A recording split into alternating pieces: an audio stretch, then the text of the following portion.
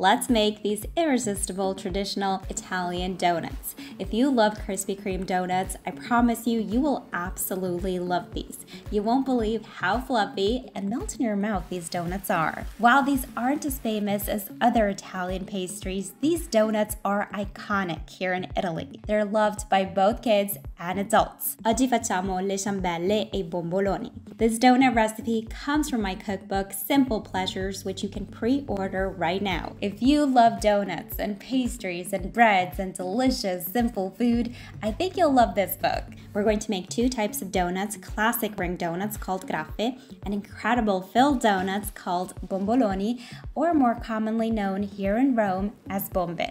We're going to start with cooking a potato, which simply needs to be peeled, boiled, and finely mashed. I know, I know. Are we making donuts or mashed potatoes? Well, both actually. The potato lines the donuts, giving these a unique pillow-like texture. It really takes the idea of melt in your mouth to the next level.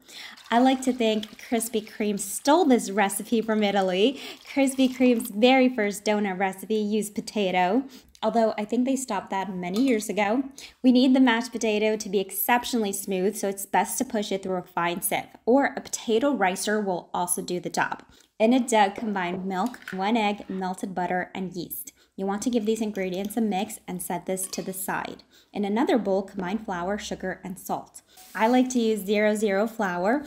Barilla flour is one of my favorites. Italians have very strong opinions when it comes to Barilla. I personally think it's a great flour and it makes the most amazing pastries. You can of course use any type of all-purpose flour you have on hand.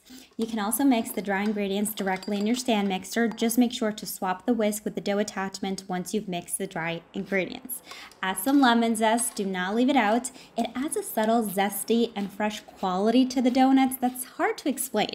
If you've ever had Italian pastries, you know what I'm talking about. We love to add citrusy notes to our pastries. Add the mashed potato, the wet ingredients, and you want to mix on medium-low speed until the dough comes together. Then increase the dough to high and continue kneading for another minute. The beauty of these donuts is that they don't need much kneading at all. So once you see a smooth dough, you can stop mixing. If you don't have a stand mixer, head to my website. You can absolutely make this dough by hand. When the dough is smooth, transfer it to an oil bowl. I like to roughly shape it in a ball using wet hands or oiled hands. Cover it and set aside for its first proof, about one to one and a half hours. While the dough is rising, Cut out some squares of parchment paper, a little bigger than the size of the donuts you want to make. My mom was kind enough to help me do that here. She's the master at making bomboloni. The parchment paper will help you maneuver the donuts into the hot oil. Fast forward when the dough has had its first rise, you're going to turn the dough onto a lightly floured work surface and roll the dough out to about half an inch thickness. Cut out the donuts. You'll find this dough is quite soft, so you want to make sure to flour that donut cutter. You don't want the dough to stick to your cutter. I always get asked where I got my donut cutter, so I've put where you can buy this exact one in the written recipe, which you can find on my website or in the pinned comment below this video. To make the bomboloni, I use a glass. You could also use a cookie cutter if you want, whatever works for you. With this recipe, you should be able to make about 10 massive donuts. I say massive because in Italy, these donuts are quite big. If you've ever had bomboloni or Italian ciambelle, you know those things are massive. Put all the donuts on the squares of parchment paper and set them to the side for their final rise. It will take about another hour to one and a half hours. We're going to fry the donuts in vegetable oil. As mentioned before, the cutout squares of parchment paper are a really great trick because they let you transfer the donuts into the hot oil without touching the delicate soft dough. Remember, this dough is super soft. You're going to fry the donuts in batches at 375 Fahrenheit. We're looking for a golden even color. A lot of times people ask me why their donuts are dark on the outside, but the inside isn't fully cooked. And that's because the oil was too hot. The outside browned really quickly without giving the donuts a chance to cook on the inside. So do not be afraid to play around with the flame. As soon as the donuts come out of the oil, drain them on kitchen paper and while they're still hot, toss them in granulated sugar.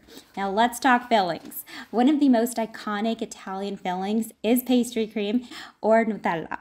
I will say for most Romans though, nothing beats la bomba la crema, which literally translates to custard bombs. They really are custard bombs. They explode with custard.